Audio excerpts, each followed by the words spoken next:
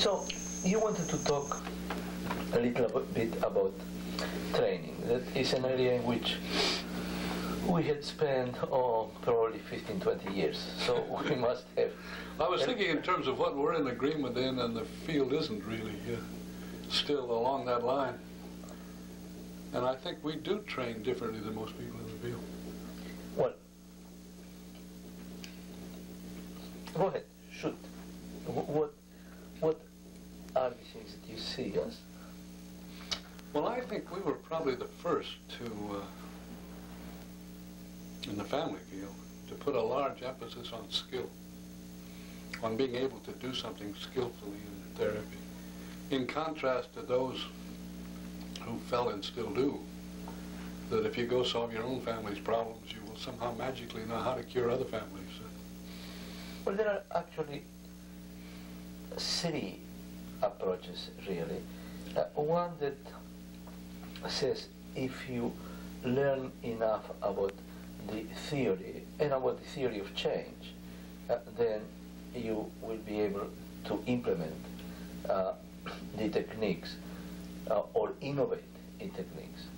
Uh, we were very inductive we started with let's teach skills and the idea was after that there will be a moment in which the skills will all kind of fall into places Sure.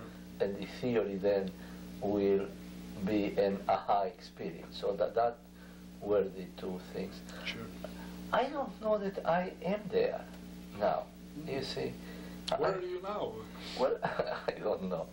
Uh, I I think that a little bit in the middle, uh, still very much involved in uh, in teaching skills, uh, but kind of. Uh, I, I think that I had been shocked sometimes by what people learn uh, from the teaching of skills.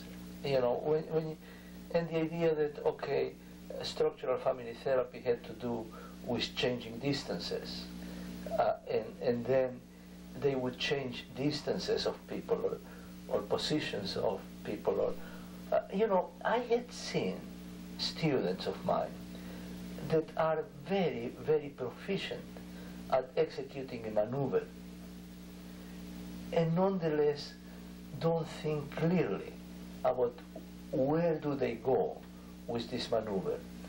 And when I began to see that, then I began to say, okay, something was skewed. Sure. But you're, you're into a more subtle difference than I'm thinking of. You remember that large meeting we had on training, which we estimated about 1970? It started out to be a meeting of family therapist trainers. It was going to be 20 or 30 people. And then some of the trainers said they wanted to bring their students to talk about their experience in the training. It was on training. It was on tra- absolutely on training, yeah. Oh. And Mariano Barragan organized it. So they began to bring their students, and it began, then people who were just interested in training wanted to come. And it ended up there were 900 people at that meeting. It was, That- it was a fantastic meeting. And there was something I like, I remember mostly the fights. no? well, there was about 20 workshops. We gave each training group a morning to present their uh, procedures. I remember now, yes. And I was horrified. I, I found that 90% of them were having people as training simulate their own families. And that was the only training people Oh. got. I remember a group from Boston where the students spent a year simulating their own families and never saw a family in therapy. And it was so shocking to hear the way these people were emphasizing everybody's own family.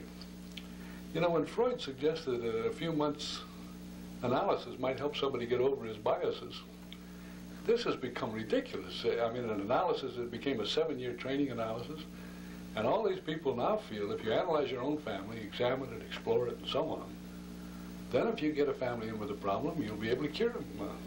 Now, I don't think we ever thought that the affecting the personal relationship of a family would teach them how to do therapy. You know, here's a problem that I think is a legal problem now.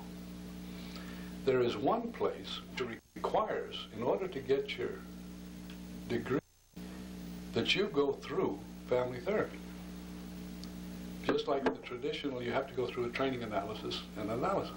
This means that the wife of somebody who wants to become a therapist has to go through therapy. Not only the guy, but his wife and his kids, which is a, an involuntary therapy. I mean, I think that's illegal, really. That, means this is part of the training. It's a requirement for the degree. That you have family therapy of your own family. In fact, I get a letter about once a month from somebody protesting that to get their degree they have to go through therapy. It's usually individual therapy. And can anything be done about this? But I don't think uh, we ever assumed that changing a, a therapist's personal family would teach him how to deal with families. So that was a difference, is what I was thinking. And that's still very big. Well, I think that, that, that you have a lot of impact in the clinic in terms of how to think uh, about training. Uh, I think that these were some of the things that you introduced. Uh, this was a period in which uh, you came uh, and uh, very soon after you came, you introduced some of the ideas that we did not have. and I th- think that a lot of the things that you introduced in this early period became the way in which we were training people. Uh, so I remember one of the things that you were introducing was a kind of respect for the student. And that respect meant a kind of clear boundaries in terms of supervision and intrusion into therapeutic intrusion. Uh, the, you brought some rules uh, that we uh, accepted. Uh, what else?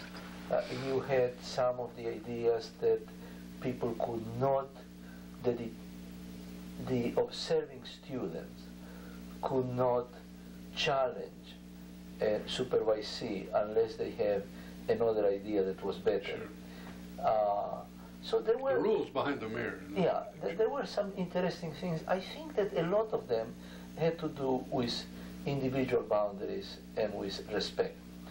That was rather interesting because for a guy that in the field cultivated a persona as an uh, uh, uh, iconoclastic and irreverent and disrespectful. Uh, that was one of the things that I needed to defend you in the field. The people would say, well, Jay is uh, blah, blah, blah, blah, blah, blah, but this blah, blah, blah meant he is disrespectful, he is intrusive, he is uh, uh, he's challenging. And I would say, well, you know, he's not like that in training. He is a very respectful guy. He is actually very protective. Uh, and that shocked people. Yeah. I remember uh, defending you from much the same accusations, as a matter of fact. that is that you were intrusive and abrasive. But that was true. you see, I, I don't think that you were intrusive and abrasive, except in, except in, in, in writing. Well, all my style as a supervisor and as a therapist was intrusive and Sure. abrasive. Uh, part of from where I came uh, as a therapist uh, in working. How, how the heck did I learn to do family therapy? You know, it was the the black and Puerto Rican families taught me, and the way that they, what they taught me was that in order to combat their despair, I needed to introduce some of my affect. Sure. And, and that became really my way of working. Uh, I, I entered into battle with people, you know, in a Calvinistic way. Uh, isn't Well, what you used to do is enter and upset everybody and be abrasive, and then renegotiate and come out with them all pleased with you. And many of your students could get in there and be abrasive, but they didn't do so good on the renegotiating. But it was that. this, this thing that I will make you happy regardless of you.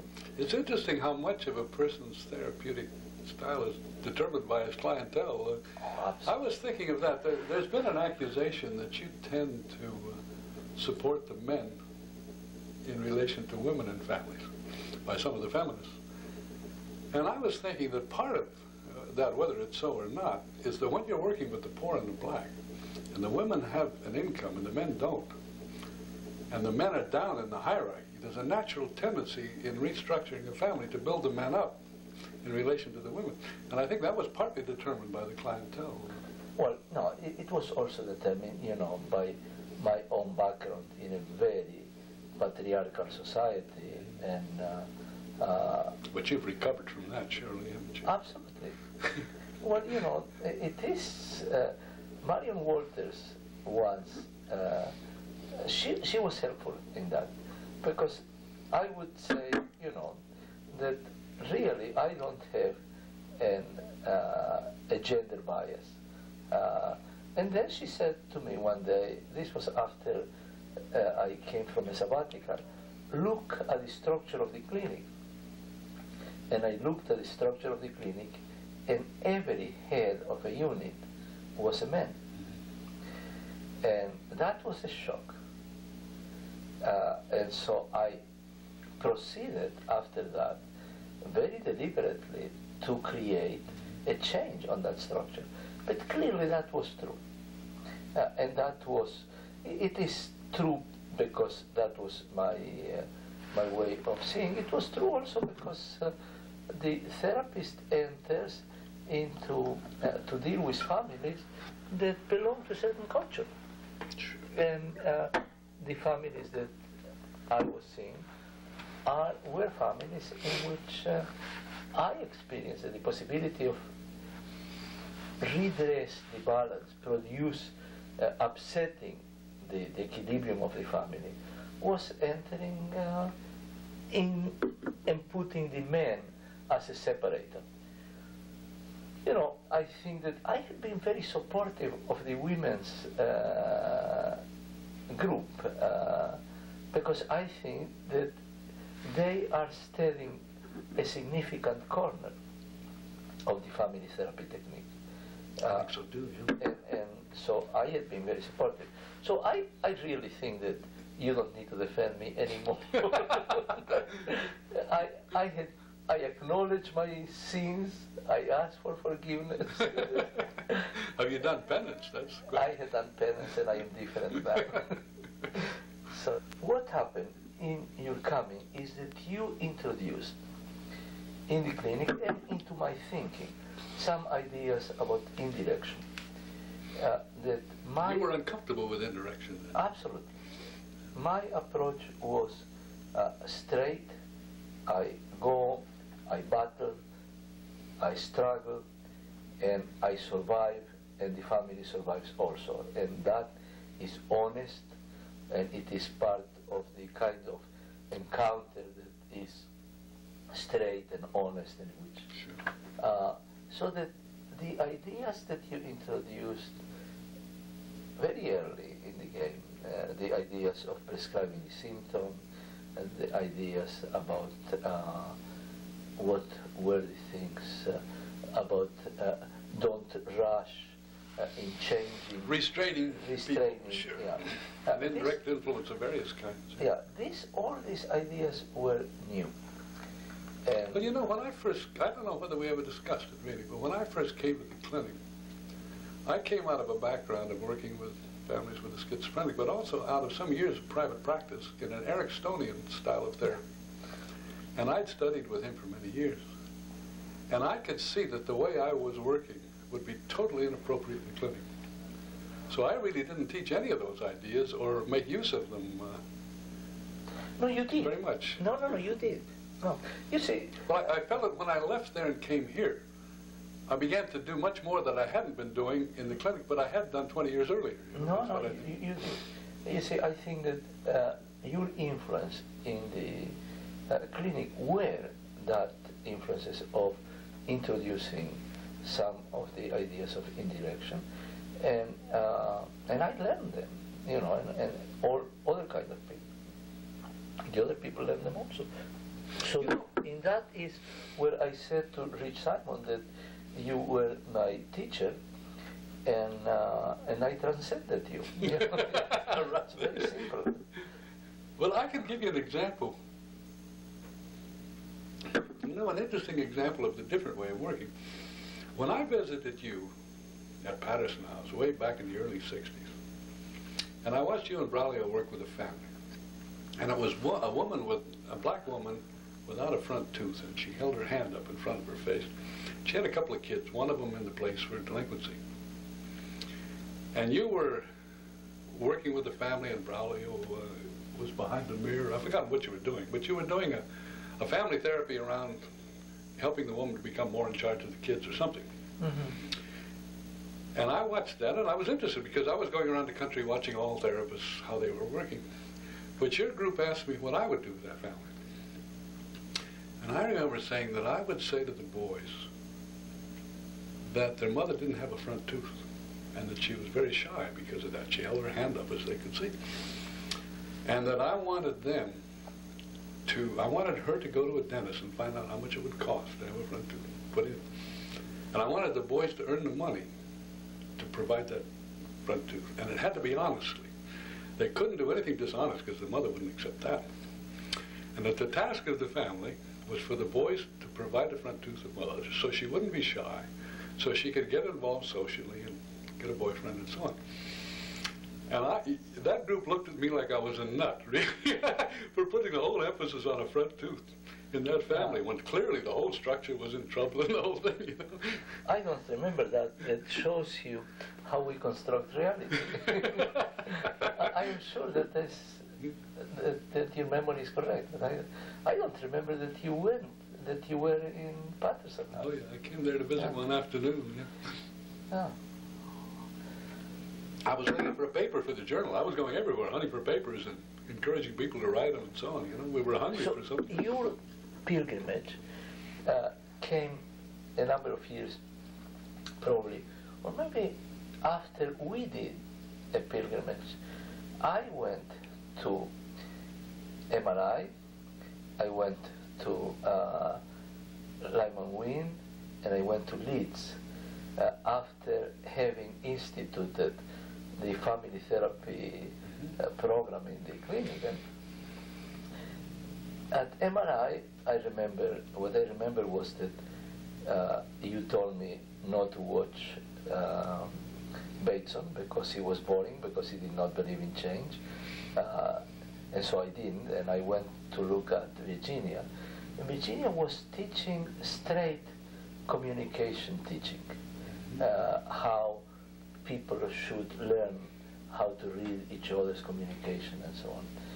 I went to Lidz, and to our surprise, Lidz was not doing family therapy. Not at all, no. Uh, they, they were doing these individual interviews and then the collage of the thing. I knew the social worker who did the individual Yeah. interviews. But you know, but they were writing family therapy. And then we went to uh, Lyman Wynne that at this point was doing a kind of therapy that was heavily psychoanalytic. Uh, then, so that then we returned. It was uh, Dick Hours and myself. We returned with a sense that we were at the top of the world. that we- there wasn't much that competition. was- yeah, that now this was our training, you know, because we had begun to do family therapy without knowing. Now we were going to learn, and what we learned was that the field was really uh, very, very scarcely populated. Well, when I wrote that paper in 62 to review the field, there was hardly anybody. And there was no literature at all that I could call upon, you know. There were half a dozen people uh, who sort of did it. But they also didn't know about each other. Erickson had been doing family therapy. He listed himself as psychiatrist and family counselor in 48, 1948, you know. So he'd started very early with families. And also the MRI, uh, you know, Virginia began training. She was probably the first trainer in family therapy. Yeah, she we started saw a in training 59 with a one-way mirror room and the whole bit. And Yeah, we, we saw They had a grant. Jackson got her a grant to do that. And that was a, the beginning of the way of working behind a mirror with a group and people taking turns going in and so on was Virginia. You know, I have a fantasy that I did the first uh, supervision in with videotape in a very unusual situation. Nathan Ackerman was doing an, uh, a presentation in the Academy of Medicine, and I was the consult, I was the discussant of Nathan Ackerman's paper, and that must have been very, very early uh, in the 60s. And uh, I just went and, in my grandiosity, because I was a young tar- Turk, and I just took his uh, his interview, and instead of being like any other consultant, graceful, you know, and gracious, uh, more gracious than graceful, I was neither one or the other, and I kind of supervised Nathan Ackerman from my position of being really uh, very much a junior person, and owing to Nathan Ackerman a tremendous amount. But clearly, at this point, I mean, owing him personally. Oh yes, I, I, he had been extremely helpful to me when I came to the country, 52 to 54. So that uh, why I did that, I don't know, but it seemed to me that it was the first time in which I began to think about how to do supervision uh, and, and supervision of style, of therapy style, Sure. Using the videotape. Uh, that today is, of course, to me, the most significant way of uh, supervising, of supervising a therapist, because uh, when I do supervision of uh, live supervision, uh, I am uh, influenced by the need to produce an outcome in the family. Sure. But if I want to study the style of the therapist, then I go to. But first, let me put here on on the uh, on the tape uh, the fact that your influence in the clinic and in my development was very very important, and that my first sabbatical really served as a way of putting distance.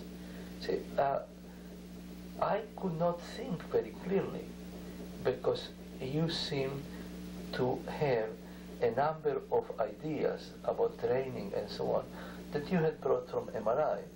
And that, uh, From Bateson's project and Erickson, really. Yeah. yeah, I, I The MRI, I was never really involved with in training at all. well, I think that it was a lot of them from Erickson. And that I felt very uncomfortable because you were tremendously clear in your teaching. You know, that's one of the things that you have a tremendous clarity to present certain ideas. And, uh, and so my sabbatical was very, very useful. I needed to be a way to think uh, on my own so that my development of uh, structural family therapy in some way was also a way of differentiating uh, myself from and Braulio. Uh, in, in some way you were very significant in the development of ideas. Well, You know, one of the things that uh, that happened, as I recall it, is that you invited me there to work with you because you were lonely. I think you wanted some more family people, and you didn't have any family people really. Uh, I was, When you were just I was looking like crazy for uh, good people to bring, you know. It was... Uh, you'd, you'd come there in '65 and lost what 95% of your staff, yeah. and turned it into a family therapy place with a with a poor community as the clientele, which it had never had. So your staff was, really couldn't I was survive. told me that you were unhappy at MRI Really? and that maybe you were loose. I was dissatisfied there in a way because the 60s were developing the, and I was getting more interested in what was happening in the world. And in Palo Alto, there was a feeling the social problems were what other people had, you know? Yeah. And the idea of going to work for the poor in Philadelphia, where there's a lot of poor, was very appealing. Not, there were no poor in Stanford. Well, there were a few. There was a little pocket that were used for research purposes of, of poor people, but they weren't really a major issue there at all. You don't realize it until you come to Philadelphia and go back, and you realize it's so different out there. At any rate, the agreement we made was that I didn't have to do anything I didn't want to do, and that I didn't have to write any grant proposal, which I'd been living on. I'd been running a family research that. project for I five years, that, Yeah. and I'd had enough of that. Did I offer you a job saying that you don't need to do anything Absolutely. you don't want? That's right. That was the agreement. Wasn't that extraordinary? It was extraordinary, yeah. So I didn't teach when I went there, and I wasn't thinking of myself as a teacher at all of family therapy, certainly. I was a researcher, and I was going there to research the poor and the black, really. I was, we were, several of us were thinking of a longitudinal study, and I was going to, and we were going to do it in collaboration to increase our sample. And I was going to work with the poor. And I went there primarily for that, and ended up just doing that research with films and so. But after a year or two, you then began to say to me, look, you've got to do something around this place your salary. This, you spent two years? Oh, a year, a year, maybe two years, just researching and fooling around. How could I have been so and then you encouraged me to do something, and that's when I started teaching, and that's when I began to influence that. But I hadn't thought of myself as a teacher at all up to that point uh, of therapy. I mean, I taught seminars here and there, but not really in a systematic, supervised way. Well, I think that uh, what happened to you also then is that uh, you moved from um, abstract ideas Into the practical end, yeah. to really an understanding of the small details right. of uh, therapy. And I think that that was the beginning of your, uh, the erosion of your confidence. you know, you, you then, I, I think that instead of criticizing others, and that was very useful, I am sure, instead of criticizing what other people were not doing, you began to, to begin to do certain things. And Well, you know, one of the things I most admired about you uh, was both your courage to, to handle the situations you were handling, but also the way, the practical way you worked with families. And, and I remember what may have been the first time you went in a room. I recall Abner Barkad, the Israeli, was Oh. a child fellow, and he was dealing with a family with a mother and a daughter. And the 16-year-old daughter had stayed out overnight. It was a poor and black mother and daughter. And the mother and daughter were screaming at each other, and, and Barkay was trying to quiet the mother and trying to quiet the daughter. And you and I were behind the mirror. And finally, Barkay just said, help, and he looked at the ceiling. and you walked in, and you sat Barkay over to the side, and you said to the daughter, go to the bathroom and wash your face. So the daughter went out to go to the bathroom to wash her face, and the mother said, what are you doing with my daughter? And she apparently thought you were taking your daughter away from her. And you said, come with me. You knew that explaining wouldn't do any good, apparently. You said, come with me. You took her down the hall. You opened the door to the woman's bathroom. You pointed to the daughter in there washing her face. Said, that's where she is. Shut the door and took the mother back. Then the daughter come in, and they be- you began to negotiate a conversation between them instead of yelling. And then you left, and Barkai took over again. And I thought that was really something to watch. There were two things I was impressed with. One, the confidence you went in there with. You didn't have any doubt that you could solve that situation. And the other was how quick you saw that mother had to be taken to that bathroom to see that daughter. I would have explained to the mother the daughter's perfectly all right, all that, you know. But she didn't work that way. Well, you see, this is this is uh, the product of the thing that the families train me. You know, schizophrenic families do not train you this right. way, but poor families and families with young children train you to see concreteness. You know. You know, and I think that this is still my major strength. Uh, the fact that I am absolutely convinced that I can enter and they will do something to me and I will do something to them and that in the process something will happen that will give me a clue to the direction where I. Yes, that confidence that you'll be able to do something and survive it. You know, Well, I mean, some of those families were pretty rough. Uh, You know, I, I, am, I try to teach people that.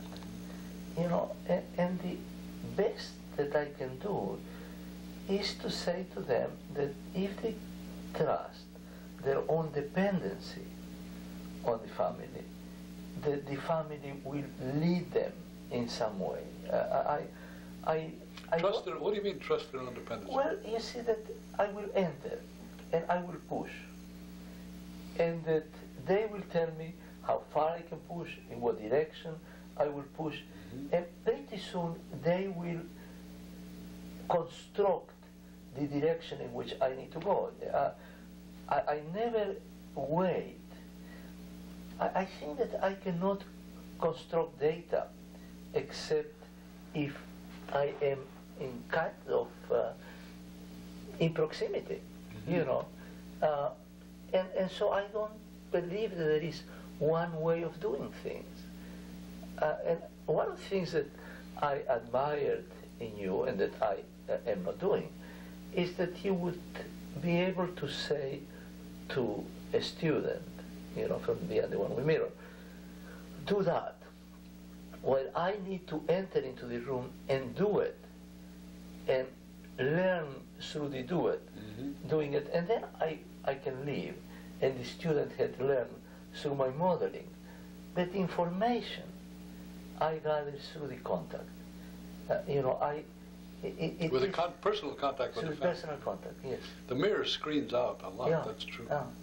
But there's another reason why you go in, and that is you get bored behind the mirror. Yes.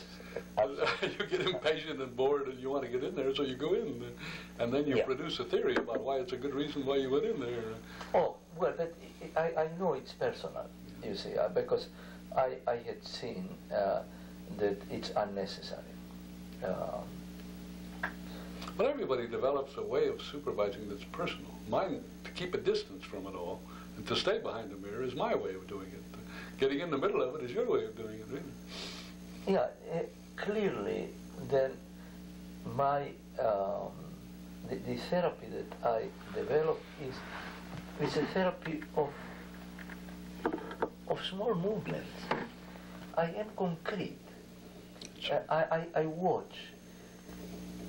I don't listen as much as I watch. Uh, I think that clearly my channel of information is uh, watching, and then what I listen are patterns, and that also is probably the result of the fact that I'm a foreigner, and that uh, language Could help that, certainly. it, it, it is, to me, it has become a helpful way of doing it. know. Uh, that I listen to, repet, to repetitions, uh, I listen to process. And that's why kind of it's strange to me that what I had written about structures is seen as static because I I am very much process-oriented therapist. That's true, yeah. Uh, and I impose on process some ideas about structure, but it's all in imposing on that. Well, there's an incompatibility between the idea of hierarchy and the idea of systems that everybody is struggling with, trying to handle. How how do you see that? Why? I get more linear. Of course, of course. Because yeah, if you think hierarchically, you think linearly. of course. At the same time, you have to realize that patterns keep repeating, which is the systematic view. Yeah, but you know that was one of the things that I did not understand about um, Bateson's. You know, Bateson attended the cybernetics conferences in the late 40s.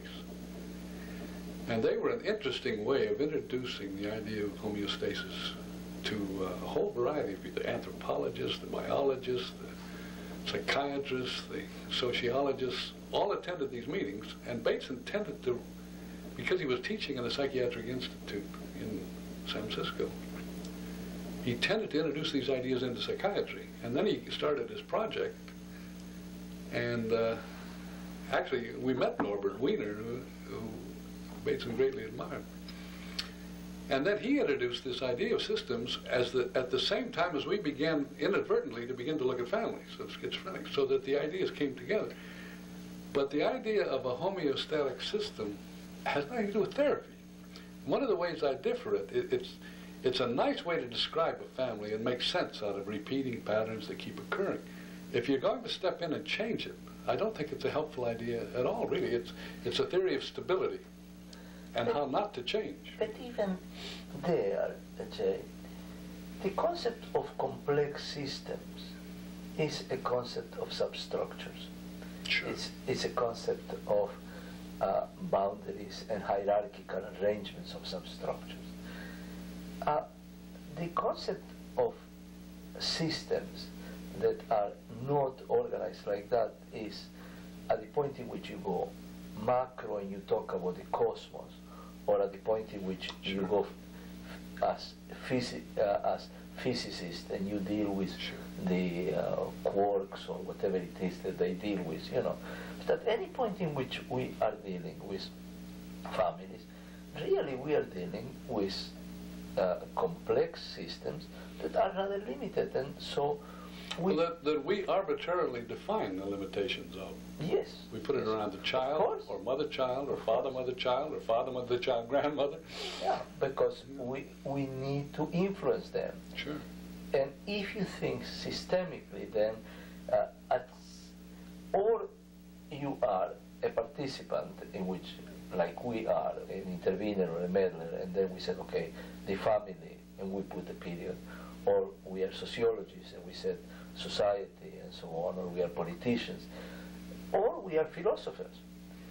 A- and then there is no no power, no hierarchies.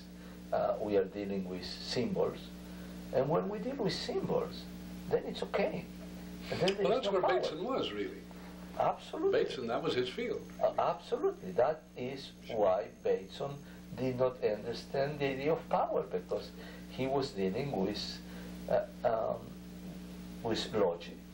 Not sure he didn't understand it. He didn't like it. That's different.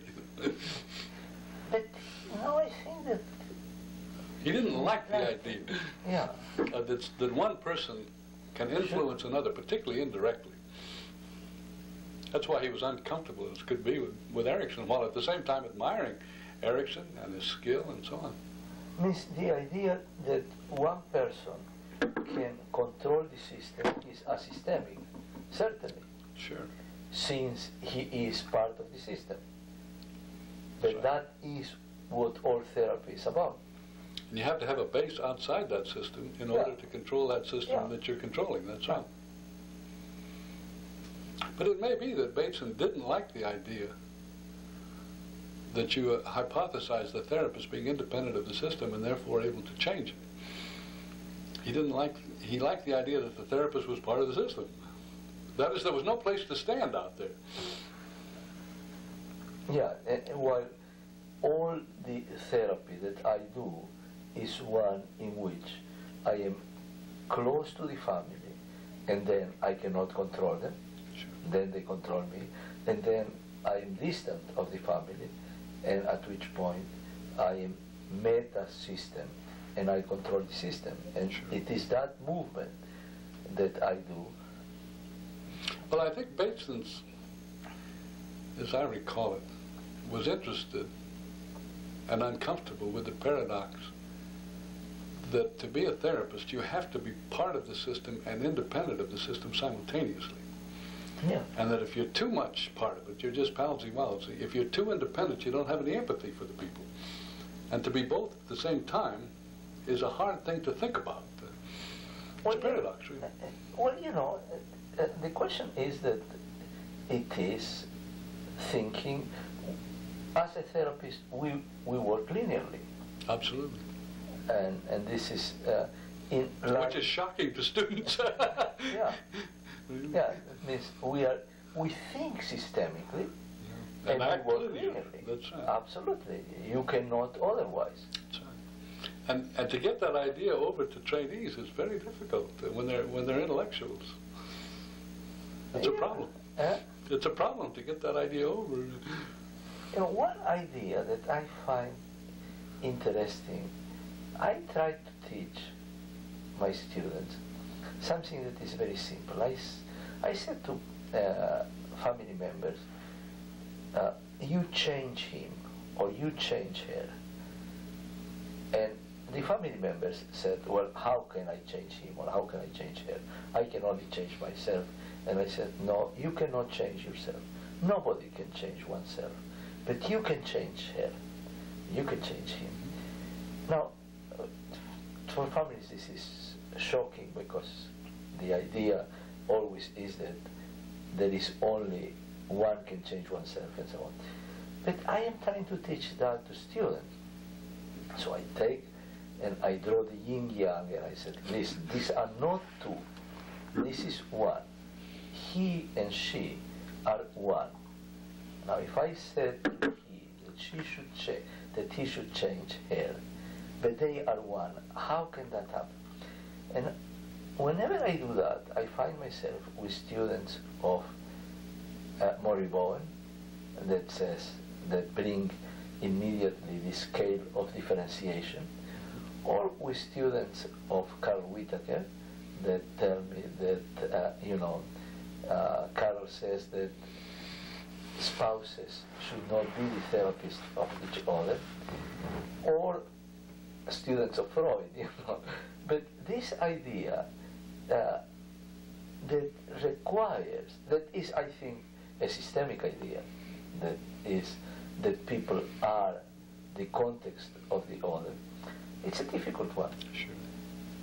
You know, one of the ways I teach it How do you? is I get a student who is unable to initiate, which is the hardest kind of a student to deal with. I mean, they can't initiate action with this with the family.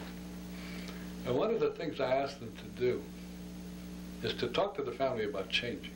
To say, do you really want to change? And are you committed to changing? And then to say, are you willing to make a sacrifice to change? And when the family says yes, they then turn to the student and expect the student to deliver something.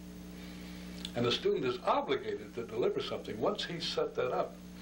So that the way a, student changes his behavior is by setting it up so the family requires him to change his behavior, is the way I think of it. Mm.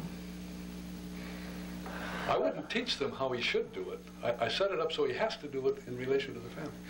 Well, then you see, here uh, I think that I uh, I do, uh, we, we differ there. Uh, because I think that I am teaching them something about the concept of, um, of belonging and of being a part. Uh, uh, that it seemed to me it's a very uh, difficult concept for people that have been trained, like all our students have been, or that have experienced uh, always the need to protect their individuality. Uh, it seemed to me that the uh, very simple, to me at this point, the very simple idea that people are a part, that is the basis of all system, is a radical epistemological change, and that people do not Sure. do not get it. Particularly clinical people Yeah. who've been trained to diagnose it as if this is independent of that, that action. Know. So I, I talk, uh, I, I make diagrams. Uh, you know, in in family kaleidoscope, I played around with the idea of a diagnosis uh, of three people as being one diagnosis that I like. It's Yeah. it's a kind of a playful kind of idea that there is three people that have one diagnosis instead of. Uh, now that's a, We need that. Eh? We need that as a diagnostic system. That's. Yeah, well, I don't know if we need it. I certainly, uh, I, I, it would be very, very complex. But you know, the, uh, the uh, there is a difference between us around educating people. That I think you would teach a student that he's part of it, and I would try to get him to do something which he would only do if he was part of it. So Yeah. that oh. the action itself is a realization of it. Now, which maybe is similar to the way I would do therapy. You, you tend to be more educational than I am Would you then use, would you then graft the educational aspect? Would you then verbalize? Would you then create No. an, an understanding for them? If they ask, maybe, but not otherwise, I don't think. I don't think it's necessary for the behavior to be perpetuated, no. I think once they're successful getting a family to do something, after the family's required them to do something, But- then they'll do it again. But what about the generalization of that idea? You see, Sure, you need to move it. You need to move it from the experience in this situation to an okay, uh, the aha. Okay, that is something that takes many forms and takes many shapes, and I can do it in different styles and, and so on. What about the jump from the experience to the integration? It's the same issue in therapy Yeah. as in training. They're absolutely formally the same. No, because your goals are different. In what way?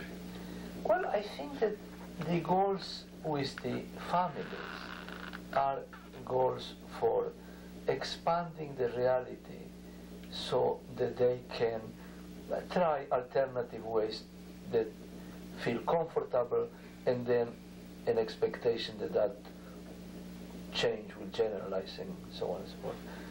I think that I see students differently. Uh, in some way, I see students also in my goal of uh, of building a pyramid of people that change other people. I see the need for them to to conceptualize, to integrate these kind of things. Uh, then in the supervision, I, I don't know. I, I see that uh, as an uh, as a different Well, goal. It's the same issue in this sense, that if you, if you get in a family to do something different in the room, you want them to generalize it so they do something different outside there. They introduce more complexity into their lives by carrying what they do in therapy into more interesting things That's in their life. yeah. With students, you want, They, but they don't need, they really, you are introducing a perturbation, you're introducing a change, and your theoretical expectation is that that will generalize. Right. Even, even you, don't, you don't care in what direction it will generalize or uh, it, it will grow. Uh, it's unpredictable to some Yeah. extent, that's right. yeah. With, Now- with a student, you Yeah. want them to do one thing with a family, which when a, a different but similar family comes in, they'll think of something different but similar to do with them. That they'll somehow have learned from this experience to do it with other families. Yeah, well, th- then Now that's a question, how much that has to be conceptualized and how much you, Yeah, they I- just do it. You see, I, I, I really see that uh, in order for that to be generalized in the student, to be generalized in such a way that he innovates, that it's different, that the same situation occurs formally, but it is so different and nonetheless is the same that he sees it, and then he introduces the same operation that is nonetheless completely different, so it's tailor-made.